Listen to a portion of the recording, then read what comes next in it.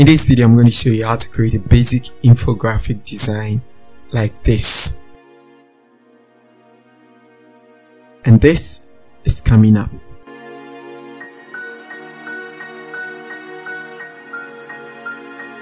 Hello everybody and welcome to the channel once again. Thank you so much for clicking on this video. If you're new here, please hit on the subscribe button if you're here. Thank you so much for showing up.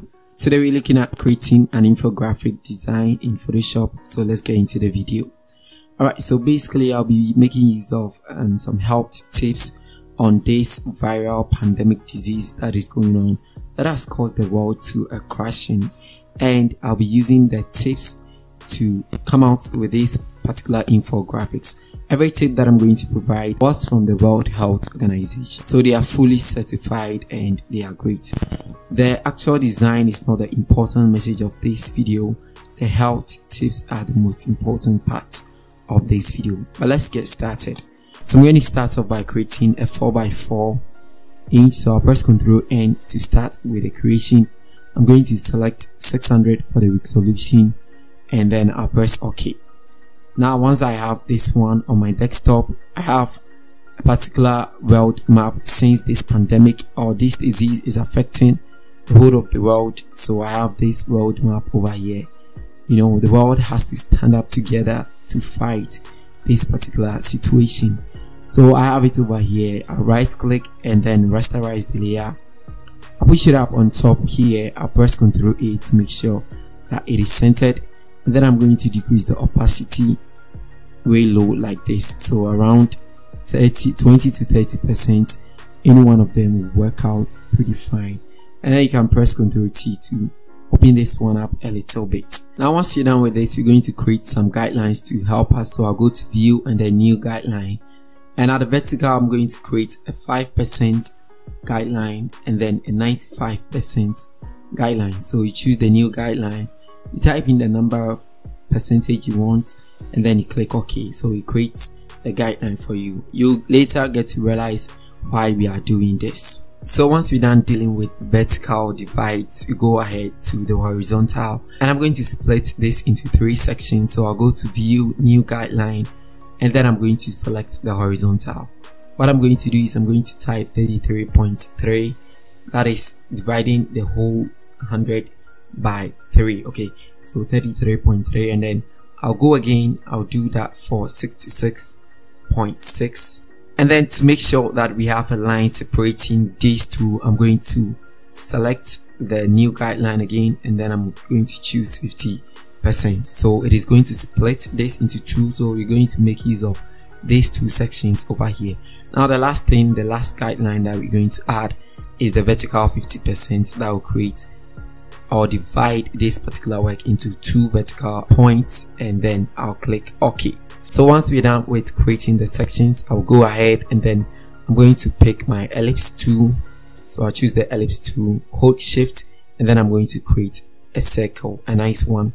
And then I'll press Ctrl A to select it all. Center it both horizontally and then vertically to make sure that this is right in the middle. So I'm going to double click on the layer thumbnail over here. Then I'm going to choose this particular color for this one I click OK, press Ctrl T, and then I'm going to open this one up a little bit, the more like this, and then I'm going to double click on that one. I'll press Ctrl J to make a duplicate, double click on the layer thumbnail over here, and then I'm going to change the color back to white. I'll press Ctrl T, and then I'm going to transform this one up to make something like this, smaller one, and basically I want to change the color of this one so it can be more or less like white but then it looks quite gray yeah something like that. So i'll click ok when i'm done. So coming back at the first ellipse or circle that we created i'm going to press ctrl j to make another duplicate. I'll press ctrl t and i'm going to transform this one out like this. We're going to change it to something else okay? So don't worry. I'll go to the fill over here and i'm going to turn off the fill I'll go to the paths here and then I'll double click on this path thumbnail. So once it is double clicked, you see that it come that save path. So you're going to create a new path and then you click OK. So you see this shape around it and then I'll go for the text tool. I'm currently using Poppins. I'll put a link to download it in the description. so I'll start from here and then I'll change the color to black I'll click OK and then I'm going to press on the or type in the dot or full stop so that it can go around this. So we're basically creating a dotted line around this shape that we've created. That is pretty much simple here once this is done you come over here and then you tick ok. Now you go from the paths back to the layers and then you can see that you have your dotted lines created around this one so basically you can group all of these ones. You call them the shapes or the main whatever you choose to call them but you have to make sure that you group it to make sure that this is looking nice. And then it is already centered so you don't really have to do any other thing to it.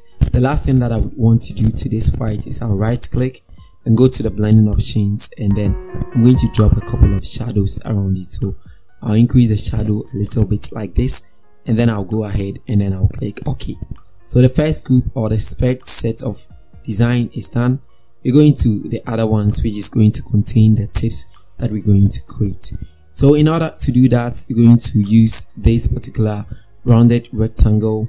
By default when you choose your rounded rectangle you might not have the radius up to this 150 so you can just go ahead and choose 150 or any other thing but the radius determines how the edges is going to be rounded like this so you can see from here. So it is going to show or determine how this is going to be. So you have to decide on how you want it. So basically i'm going to use 150 for this one and i'm going to create a radius around here. I'm going to make sure that it is into the middle or the center a little bit like this. And then this particular guideline that we created it is in the middle and then it comes into the dotted lines a little bit. I might not have it at a perfect level because I'm not taking time to do this but once you get a concept you can just take time to do this really nicely. So you create this one you can zoom in by holding Z and then left clicking. So I'd want to apply the gradient overlay on this one. So I right click and go to the blending options. And then I'm going to select the gradient overlay I have a couple of packs that I already have over here. But then in case you want to set up your own what you have to do is you come to the color stop over here you click on it and then you can come to this color click on it and then you set it to any color at all. And then you click ok you go back to the next color stop. That is if you want to use a two set of gradients.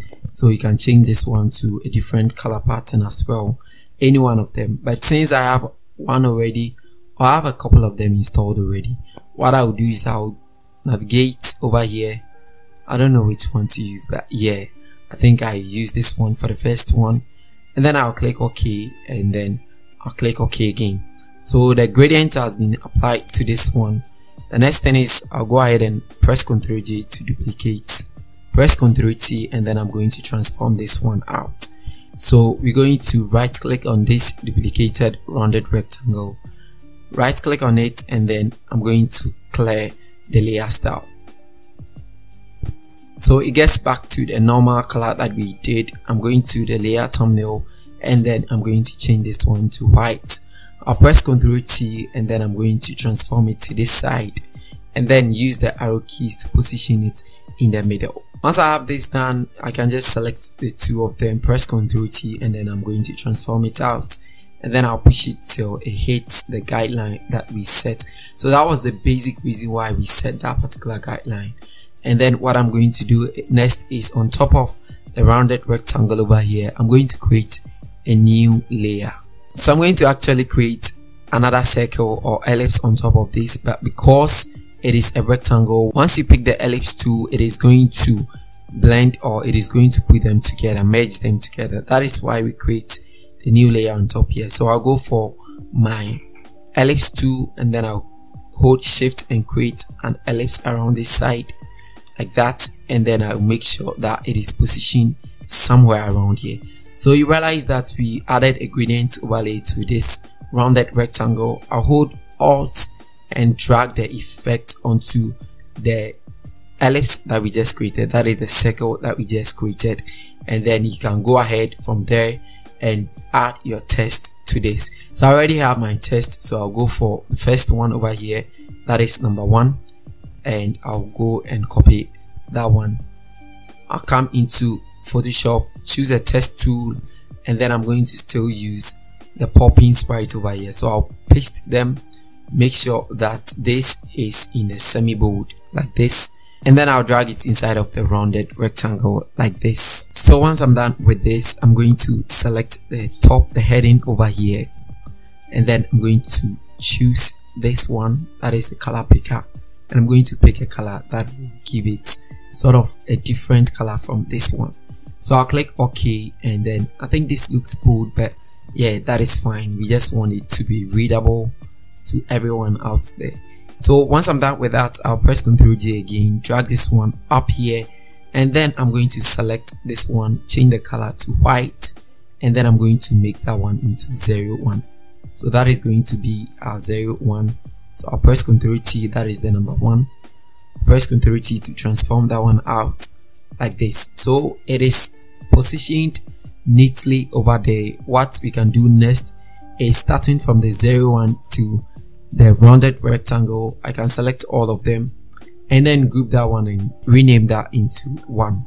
Okay so once you're done with this you can use this same approach in dealing with the rest of the information that you want to put out there.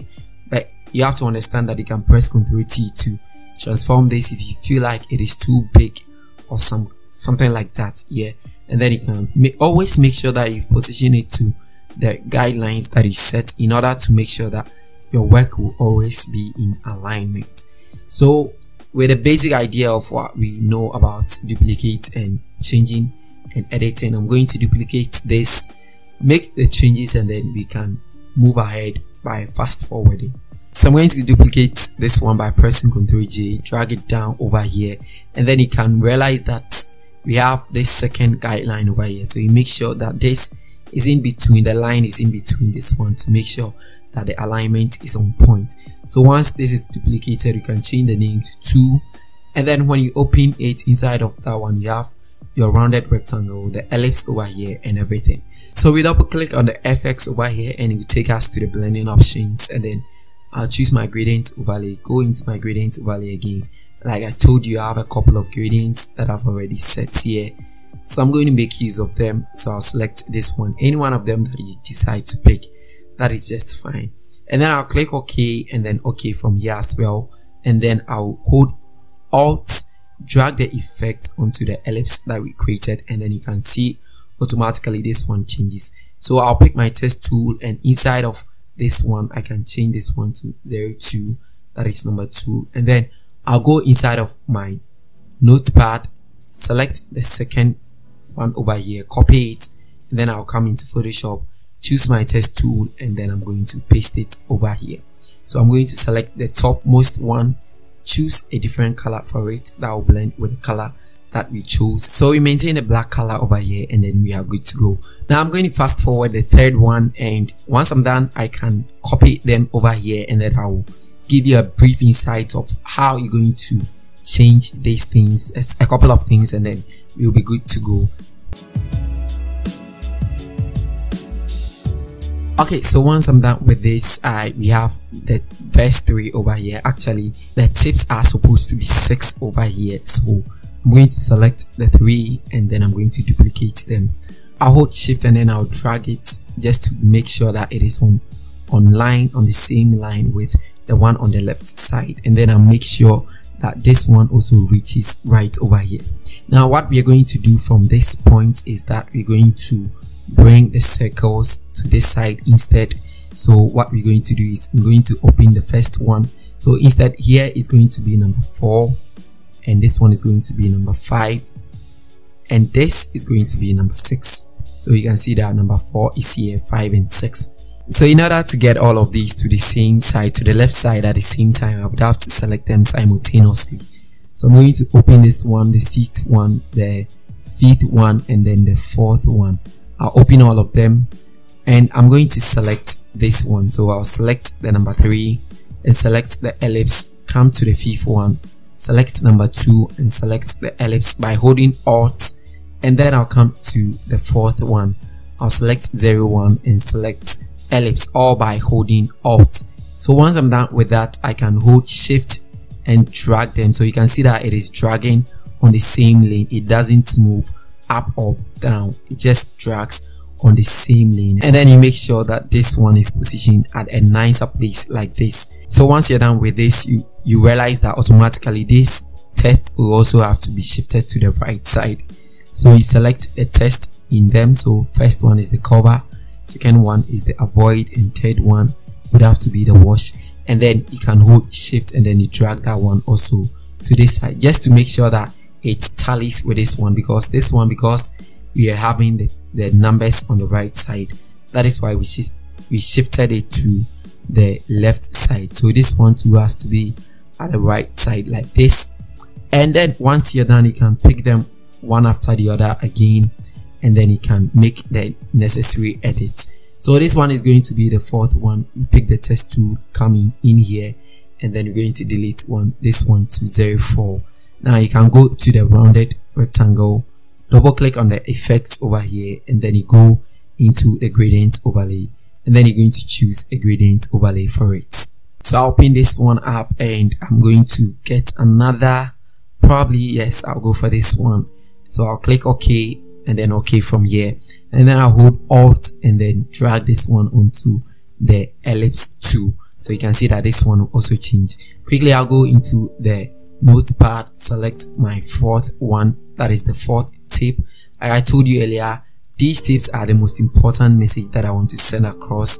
It is not basically the design. The design is also important as well but take care of these or take note of these particular tips that I'm putting over here they are from the World Health Organization so I'm going to change this one to black and then change the heading to the color that we are using so probably this one or on top over here and then you click OK so with the same concept and idea that we used in doing the four, we're going to apply it to the fifth and the sixth one. All you're going to change the gradient and you're going to copy and paste the text over there. So I'm going to fast forward this area and I'll see you at the other side.